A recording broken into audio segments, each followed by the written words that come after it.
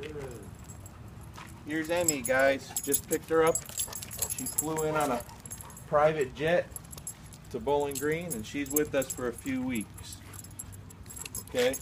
Emmy's a pretty strong rambunctious. so you see where we're at, at with her. We got some work to do, but she's gonna be fine. We'll keep you posted. We'll get some footage, footage, videos. This is Emmy. Emmy's our nine-month-old Dane. No training there, obviously. We'll keep you posted, guys. Thanks. Okay, so we just got home. We just pulled into my house with Emmy. Okay, couple of things we'll need to work on this weekend. She's wild. She pulls like a tank. That stuff's easy. More importantly, she has a serious fear and phobia of trucks and heavy equipment, any kind of machinery. So the good thing is in my neighborhood, there's a lot of construction going on. I'll be able to work with that. But for right now, guys, just like when I get someone show up with a private session, she wants to go everywhere, right? Very anxious, very skittish, very unsure, very worried about everything. When I talk about the training starts before the training starts, I'm going to stand here with her and I'm not going to let her go anywhere. Anytime she tries to go in and investigate something, I'm just going to bring her back to me and do nothing. So even right there, I just want her right here. I want her understanding that I just need her right here and that's it. May seem like nothing, right? But it's a lot. I have to do that before we continue anything else. Before we do any training, before we start bonding, I have to have her understand that when I have this leash, just be here with me. That's all I want. And if she is to go someplace over there, I don't want her there, I'm going to let her know I want you right here. She goes there, I want her here. That's all I want. Just be with me. Okay? I need her to start focusing on me and my whereabouts. Where am I? Just be with me. That's it. Very, very important. It's the first thing I do when someone drops a dog off. Always. Before we head down to my house, before we go inside, before we do any training, I just want the dog with me here.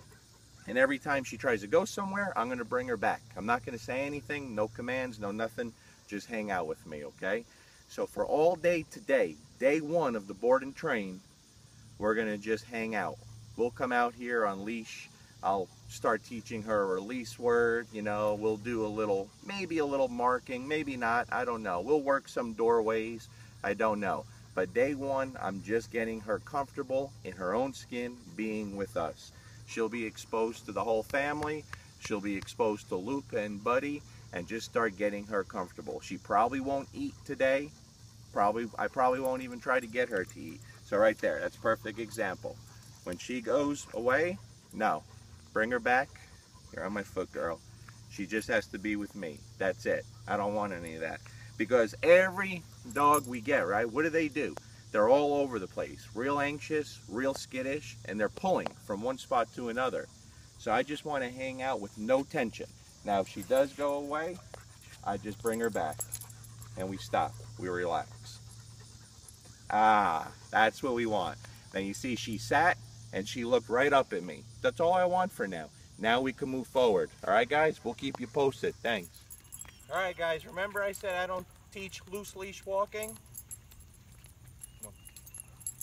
That's what I'm talking about. So we're 10 minutes into our relationship. And this is what we got. Come on, Emmy. I'll have to send this to our owners. 10 minutes together. When you do those little things in the beginning, this is what you get. She's on a harness, she's on everything wrong, but she's already not pulling me down the street. 10 minutes, no work. I didn't train. Good boy, good girl. Come on, let's go.